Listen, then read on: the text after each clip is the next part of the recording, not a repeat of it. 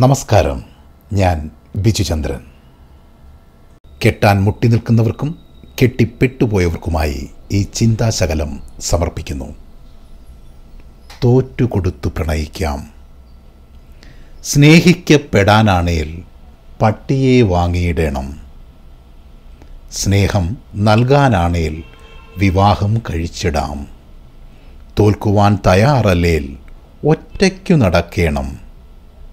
തോൽവിയും രസമാകിൽ വിവാഹം കഴിച്ചിടാം. ഇത്രയും അറിവോർക്ക് ദാമ്പത്യം സുഖകരം.